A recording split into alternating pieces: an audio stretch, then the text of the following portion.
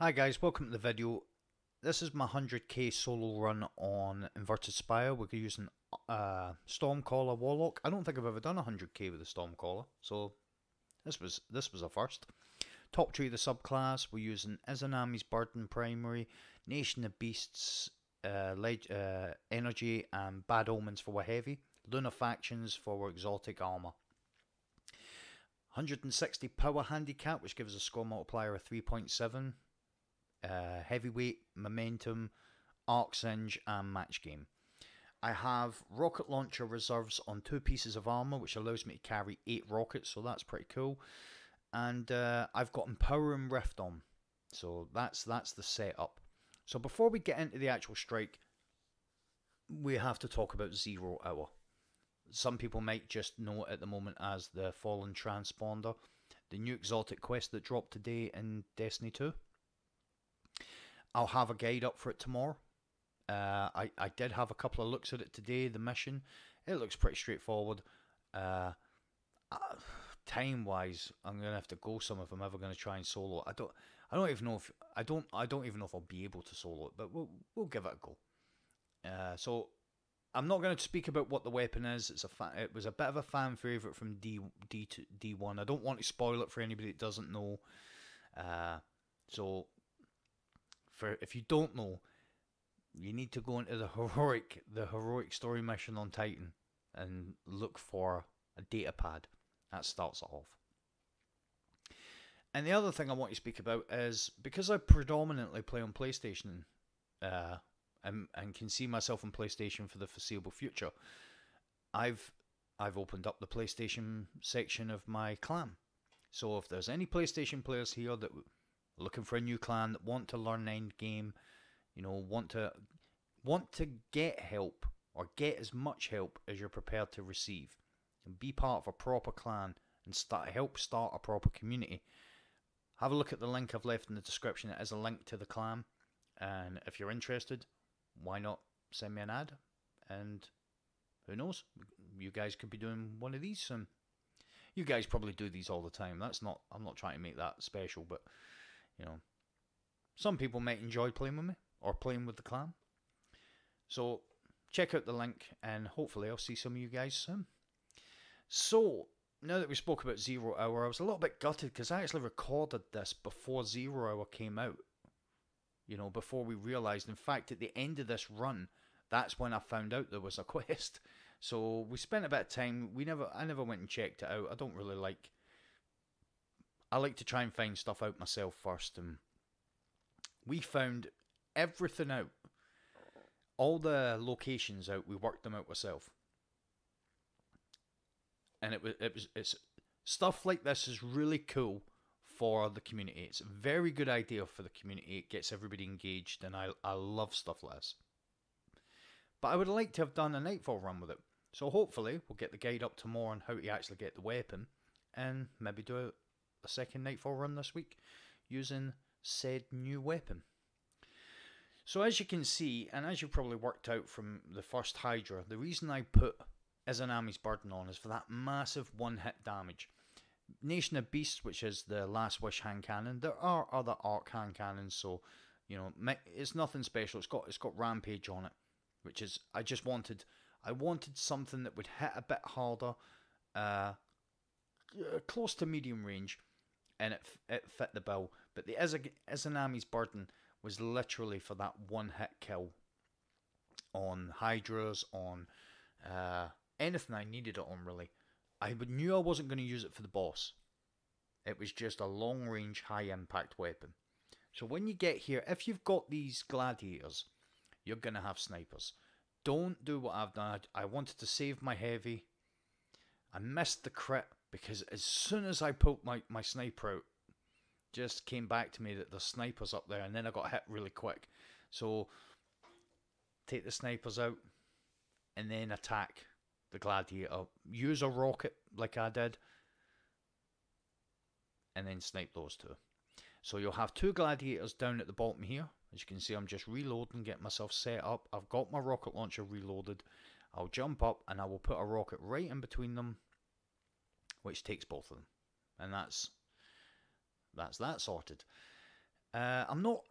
I'm being a little bit more liberal with the the heavy in this run because the section where you te- get get uh, like vaulted over and then you drop down into a circular room and wait for the wait for the other kind of teleporters to load up. You'll get a fair amount of heavy, and because we've got a roaming super, that will you know doesn't matter what we get. If we get Vex, we get dogs. In this run, we get dogs. It doesn't matter which one you get. You're gonna wipe a lot of them out with your super. Uh, the, the Stormcaller, I right. I started making a video the other day and I stopped. It's like the Future Destiny video. I start making these videos and then I stop because I'm, you know, I, I don't have a lot of faith in my own abilities when it comes to doing stuff like those sorts of videos. So I talk myself out of making them half the time. But I started making one about the supers and doing this run has told me I need to make that video because Stormcaller used to be such a strong super. And now it's e- even uh, okay if you've got the the the geomags then uh, Chaos Reach is a little bit better. But this, do you remember when the melee used to be called the Tickle Fingers? Anybody remember that?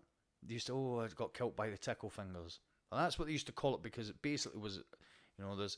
I think I put something on my Facebook page, on uh, on the channel's Facebook page, and it was basically uh, all the snipers that we missed from D1, and it was like, oh, this one, this one, this one, and the middle one was like not you, and it was the the Warlock's melee from D1 because it, you you could kill someone from almost you know it seemed like about 10 meters in game away from them.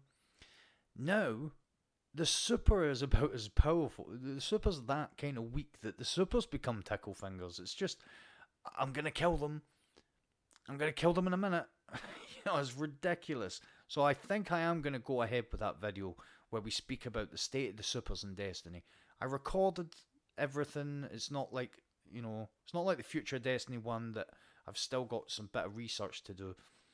This one was all done, and I talked myself out of actually putting it up because who wants to hear my about stuff like this? You can see me play it, so you're like, oh, he, what he's saying is true because it's on on in front of us. But stuff like those other videos, I'm kind of like, mm, who wants to listen to my rambling?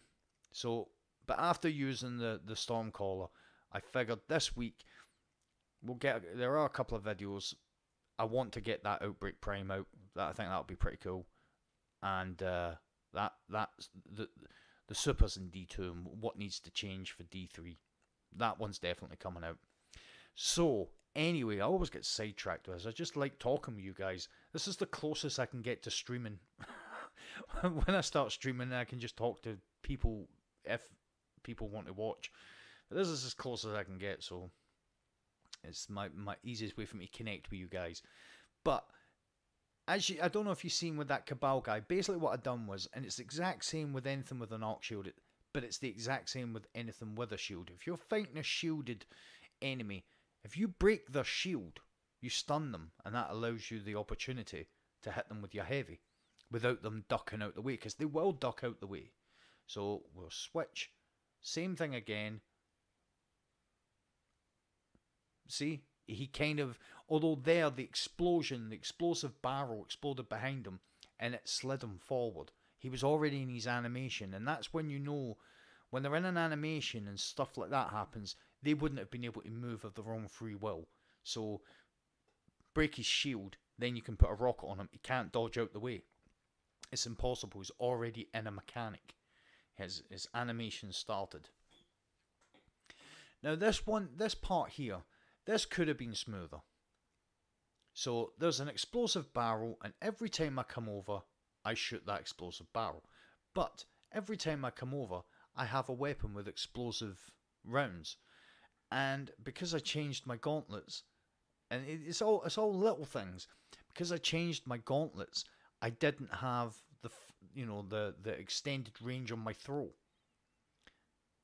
Actually, after watching this again, I've seen this little gap around the side there. I've always now I'm wondering if I could have went round there and where it would have went. so, yep, this could have went smoother if I'd have thought out. Now that I know I don't have the gauntlets on, now I can hit them with a grenade. But because I thought I had the gauntlets on, I had my my throw. I'm uh, just making it. I'm not making excuses. I'm just trying to explain why the first grenade was so bad. and it's because I'm used to having that extended throw. So we drop down. I've baited them, got them to chase me, so I can get my health to proc and come back and access that. If you just drop down there, if you just drop down and try and access that, that terminal whilst they're there, you're dead. They, they, they will just literally just gang up on you and kill you. So now I can use a bit heavy, try and get one of the gladiators down, because I've seen that, that load of heavy there. So I fire another brick. I've got also a rocket launcher scavenger on. So I know that when I pick heavy up, I know I'm going to get quite a few rounds. So it's all good. So what we're trying to do is just bait them towards us. As many as we can in one go. I'm not just running for the sake of it. I'm trying to bunch them. But when they got round there, it seemed like they, they stopped a little bit. So once we take these guys out, then we get these guys. We get the dogs. So again, because we're going to pop with super, we want them to follow us. We want them to bunch up, get them in a group, pop the super, and as you can see, they're all just charging after me. Heavy for days. Another thing about the Stormcaller, you guys probably know it, and to be fair, who's going to use it? It's just, it's not very good. It's, it's that, it's that lackluster that it's hard to imagine that it used to be good. But anyway, done done what we needed it to do, and we've got heavy, so we're going to take. There's two guys round here, two incenders, two incinerators, or I always say it wrong. Let's have a look. Incendiors, that's right, two Incendiors. We'll kill them because they're void shielded, and now we there's no snipers up there, so we can use our Nation of Beasts, break these shields, and then we're good to go. Always make sure you reload always make sure you've got you, when you're going into battle, when you move from one battle to another, that should be the thing you're doing is checking your weapons just to make sure they're reloaded. There's nothing worse than getting into a gunfight and having one or two rounds in the in the barrel. So as you can see, never reloaded. Now we'll put it on these void void guys. We take all three of them. I shouldn't have fired that rocket. There was no need to fire it. That is what this is for. And as you can see how much you'll see how much damage one shot from it does.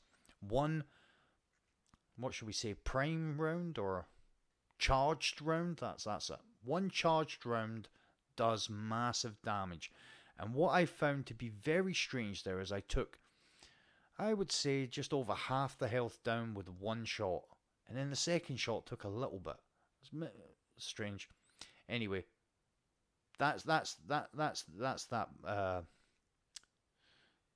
the the bossy down. What's his name? I I is, is that that Episceptus? Is that his name? I can't remember. Something like that. Anyway, he's one of the wanted guys, and he was the reason I'm it's coming into my head is because I think he was the last one I needed. That's why I, I think his name is Episceptus. I don't know. He's a Hydra anyway. so the Hydra's dead. You're coming down here. We have three elite snipers. Now, I've I normally even when I am killing killing the ads here, I normally only take two, but because when I came into it, I thought I, I thought I was going to struggle for score. I thought I was going to struggle for time actually. And these weapons and this kind of strategy worked really well because I wasn't struggling for either. My suggestion, as you can see, I'm looking for the other sniper. I can't see him. I know there's one at the bottom, which we do see very quickly. Almost tagged him straight away. Was going to go for the no scope, but I wasn't. We took out the other sniper. We'll throw a grenade down here. Now, I know there's another sniper, but I will implore you guys, if you don't take him, if you don't take the other sniper from the position, our original position, leave them and just go because you'll see what happens here. kill these last couple of ads because they're putting a bit on me. And he's above us now. And because I've had a good run and everything's been going well, I get a little bit above myself and he's gone. He's over there. I've come out. My, I should have just walked back up against the wall and then got out of there, but I didn't. Just leave him. To, if you can't take them all from over the other side, just get down here and go at the boss. So there's going to be three three arc shielded harpies when we get down here, as there always is. We'll take them out. We're going to put down our empowering rift, pop six rockets on, on on your man, and he'll be dead. Nothing special. The rocket launcher's got boss spec on it. That's it. That's the only special thing. And I put a grenade. So we know with the time it's under the 15 minutes, so we're still scoring maximum points per kill. We've got 99,419 points. We know if we kill this guy, we're going to hit the 100k. So we put a grenade on him, and now we just rattle off six six rockets at him, and it's a one phase. There you go, guys. One phase, 100k on the Stormcaller. Uh, like I've said, like I've said already in this video, guys, watch out for the the guide on the zero hour and the the fallen fallen transponder tomorrow. If you're interested in joining the clan on PlayStation, there'll be a link in the description. I look forward to hearing from anybody that, that is interested. Thanks a lot for watching the video, guys. Your viewership is always important to me. Take it easy, and I will see you in the next video.